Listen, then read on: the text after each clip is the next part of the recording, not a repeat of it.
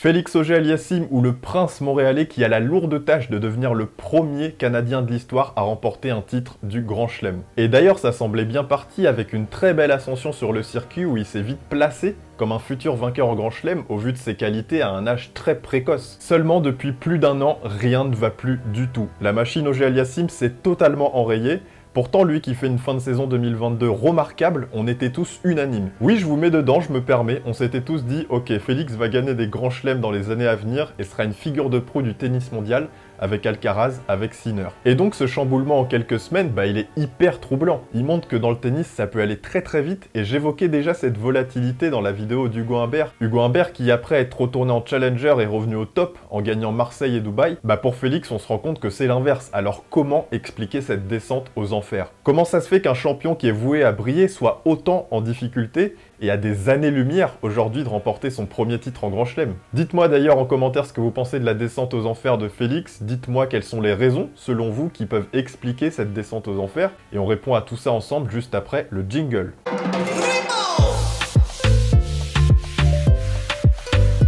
L'ascension du prince canadien. Effectivement, le grand public le découvre en 2018, ceux qui suivent bien le tennis un peu avant. Moi, j'ai eu la chance de le voir jouer en Challenger et on sentait déjà une rigueur peu commune, une volonté de parfaitement faire les choses et en plus une marge de progression assez énorme, notamment côté revers. Je vous donne les étapes clés de son ascension sur le circuit. Première victoire à Indian Wells en 2018 contre Pospisil. Première victoire contre un top 20, c'est à Toronto 2018 contre Lucas Pouille. Et première participation à l'US Open 2018 où il au premier tour contre son ami Chapovalov. Alors il perd, mais pour être plus exact, il abandonne pour cause d'arythmie. C'est des palpitations au cœur qui causent des douleurs à la poitrine et des étourdissements. Derrière, son jeu va s'étoffer, il prend du galon et beaucoup d'expérience, notamment face aux meilleurs. Il fera demi-finale à Miami en 2019. Il atteint ses premières finales sur le circuit principal, à Rio, à Lyon, à Stuttgart. Et il finit l'année 2019 à la 21e place mondiale, donc ça y est, il est dans le gratin des tout meilleurs. En 2020, il nous fait trois autres finales sur le circuit sans parvenir à gagner. Et en 2021, il fait huitième de finale à l'Open d'Australie, quart de finale à Wimbledon et demi-finale à l'US Open. Donc ça y est,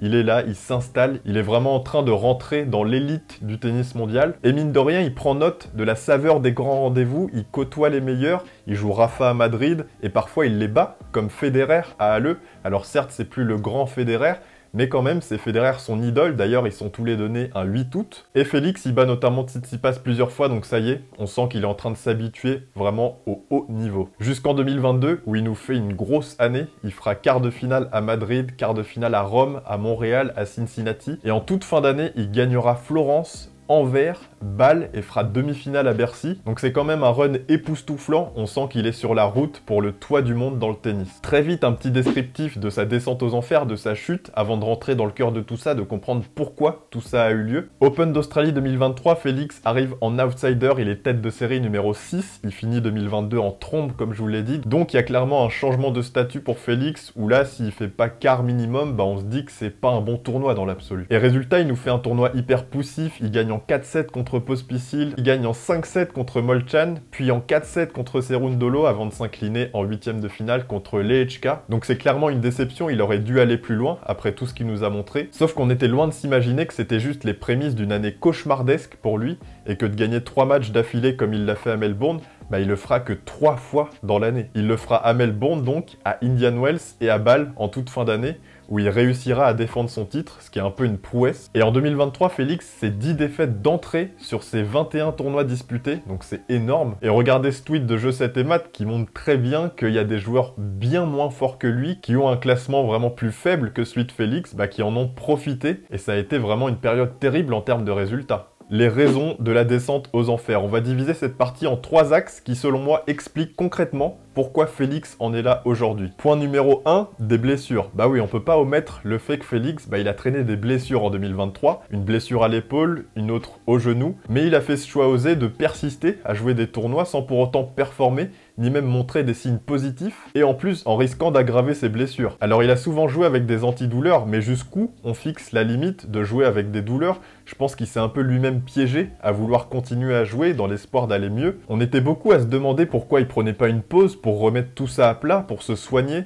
pour récupérer mentalement. Je pense qu'il avait vraiment espoir d'aller mieux dans les prochaines semaines, il voulait garder le rythme du circuit en vue de ses points à défendre en fin d'année. Point numéro 2, un jeu facilement friable. Effectivement, il y a ce problème dans son jeu où il dépend énormément selon moi de sa qualité de service et en particulier de sa première balle. Exemple, quand il gagne balle en 2023 en finale contre Urkac, il est à 93% de points gagnés derrière sa première. Et le match, il fait 7-6, 7-6 pour Félix, donc il y a une dépendance totale pour son service. S'il est mauvais au service, bah, il a quasiment aucune chance de gagner. Et rappelez-vous de ces matchs où il a montré un grand visage, bah, le service, il était parfait et les séquences avec son coup droit étaient très très bien huilées. Parce que son coup droit constitue son deuxième point de dépendance, il fait tout son jeu avec. On va pas se mentir, côté revers, Félix, c'est pas la folie, du moins pas encore pour un top 10, même un top 6. Et donc quand tout ça n'est pas parfait, que ce soit son service ou son coup droit, bah, c'est très dur derrière de trouver un plan B surtout sans confiance et avec des problèmes physiques en plus. Et je parlais justement de ses blessures dans mon premier point, bah ce sont ces blessures qui fait que son jeu est encore plus friable. Écoutez lui-même ce qu'il dit, il dit une des bases du tennis, c'est le déplacement, le jeu de jambes. Tous les meilleurs joueurs de l'histoire ont été performants dans ce secteur. Quand j'ai perdu en mobilité sur le cours, il y a plein d'autres aspects de mon jeu qui ont commencé à descendre, dont mon service. On prend de mauvaises habitudes pendant plusieurs mois et ça peut prendre le même temps pour les changer. Et j'ai été gêné trois mois avec mon genou. Troisième et dernier point, un blocage mental plus global. Effectivement, il y a plusieurs faits, plusieurs signes dans la carrière de Félix qui peuvent montrer qu'il peut avoir une difficulté à franchir certains paliers. Évidemment, on a tous en tête ces 8 finales perdues avant d'arriver à décrocher son premier titre à Rotterdam en 2022. Et ça, bah, c'est pas du tout anodin. Si je vous les affiche, on voit que quand même il y a des couacs, il y a des défaites pas normal. Et moi, je vous avoue qu'il y a des défaites qui me vont pas trop. La septième contre Evans me fait vraiment très mal. Evans qui jouait lui sa troisième finale, je trouve que prendre 2 et 3, c'est décevant contre un joueur qui était largement prenable. Mais surtout, regardez, il prend aucun set et la plupart du temps, bah, c'est aller vite, voire expéditif. Il va rarement au tie-break. Donc, il y a quand même eu un gros blocage pendant 3 ans avant de vaincre tout ça et de gagner un tournoi. Et autre point, est-ce que vous vous souvenez de ce match? J'espère que oui parce que il est méga important dans la carrière de Félix de la construction du champion qu'il est et qui va continuer d'être. Quart de finale Open d'Australie 2022 contre Medvedev, Félix joue incroyablement bien, il mène 2-7 à 0, il a une balle de match dans le quatrième set, mais il se fait remonter par Danil pour se faire éteindre au cinquième set. C'est une déception immense forcément, il y avait la place pour Félix complètement pour atteindre sa deuxième demi-finale en Grand Chelem. Après bon, ça arrive à tout le monde de perdre un match en ayant mené 2-7-0, mais ce qui est pire dans tout ça, c'est qu'on sent que s'il rejouait ce match en menant 2-7 à 0, s'il le rejouait 10 fois, bah on sent qu'il pourrait le perdre 7 ou 8 fois. On sent de manière générale avec Félix que ça peut bloquer alors qu'il a le niveau. Contre Djéré à Rio pour sa première finale, il a largement le niveau. Contre Benoît Père à Lyon, il a largement le niveau. Contre Evans à Melbourne, il a largement le niveau. Donc selon moi, il y a un blocage récurrent quand il s'agit de passer des étapes, mais ce qui me fait un peu peur, c'est qu'il lui en reste pas mal à franchir des étapes. Gagner un Masters 1000, gagner une demi-finale de Grand Chelem, gagner une finale en Grand Chelem. Et si ça prend autant de temps que pour toutes ces finales, bah on n'est pas encore arrivé.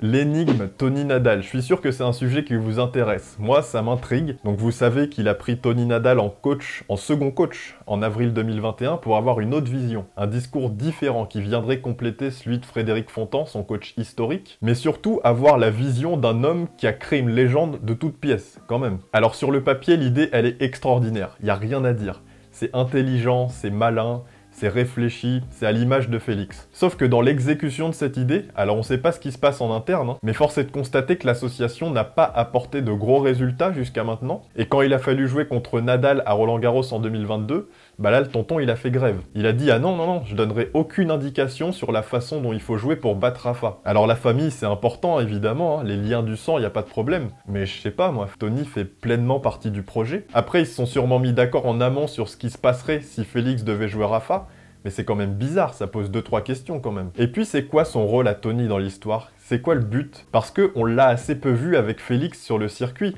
Donc comment construire une relation stable, comment construire une relation durable? Et Félix, il l'a dit en fin d'année 2023, l'objectif en 2024, c'est que Tony soit plus présent. Donc ça veut bien dire qu'il y a eu un manquement, qu'il y a eu trop peu de temps passé ensemble et que la plus-value qui était censée apporter Tony n'a pas forcément vu le jour dans une période où Félix en aurait eu bien besoin. Surtout que les blessures et le manque de confiance, bah Tony il s'est un peu géré ça quand même. Maintenant, on va parler un peu de l'homme Félix Auger-Aliassime, du moins ce qu'on connaît de lui. Déjà, il faut dire que c'est un gars super bien. En tout cas, de tout ce qu'on voit, c'est un homme respectueux, gentil, humble, bienveillant, quelqu'un de généreux. Il y a qu'à voir ce qu'il fait avec sa fondation au Togo où il reverse quand même 20 dollars par points qu'il gagne en compétition. Alors pour être précis, 5 de sa poche et 15 via la BNP Paribas avec qui il s'est associé pour ce projet. Il y en a quand même pas des masses hein, qui mettent en place des actions comme ça dès l'âge de 20 ans. Mais je vais vous poser une question à laquelle j'ai pas forcément la réponse. Est-ce que c'est pas un problème finalement d'être trop gentil, trop respectueux, trop bienveillant?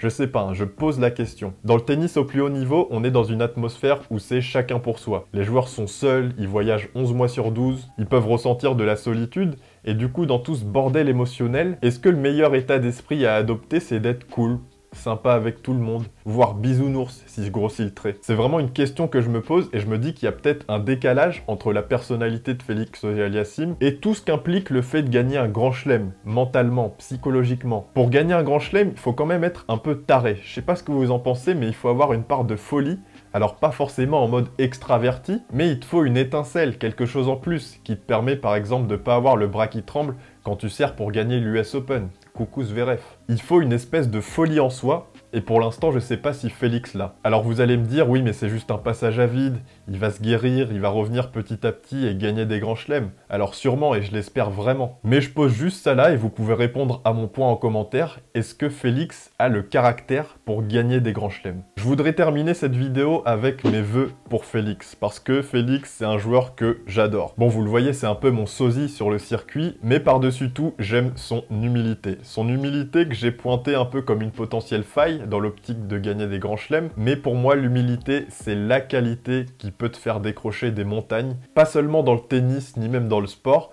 mais dans la vie en général. Et le fait d'avoir un joueur si jeune, si humble, si mature, bah, je trouve que ça apporte de la fraîcheur, qu'on le veuille ou non, là où on a un circuit plutôt fade, plutôt formaté et sans trop de saveur. Et donc étant un farouche partisan des énergies positives, bah je souhaite qu'un joueur qui fasse le bien autour de lui lui arrive de bonnes choses. Ensuite j'ai évoqué son jeu que personnellement j'adore, mais comme je l'ai dit je le trouve friable et j'aimerais vraiment que tout rentre dans l'ordre, que le service devienne vraiment l'un des plus menaçants sur le circuit, que son coup droit n'ait plus rien à envier à celui d'Alcaraz, que son revers n'ait rien à envier à celui de Medvedev, je sais je vise haut mais il en est capable, c'est pour ça que je pense qu'il peut le faire. Et enfin je veux un Félix au top parce que la direction qui est en train de prendre le tennis mondial et les principaux prétendants au Grand Chelem, bah elle me va qu'à moitié. Alors on a du Alcaraz, on a du Sinner, et après, euh, et après quoi?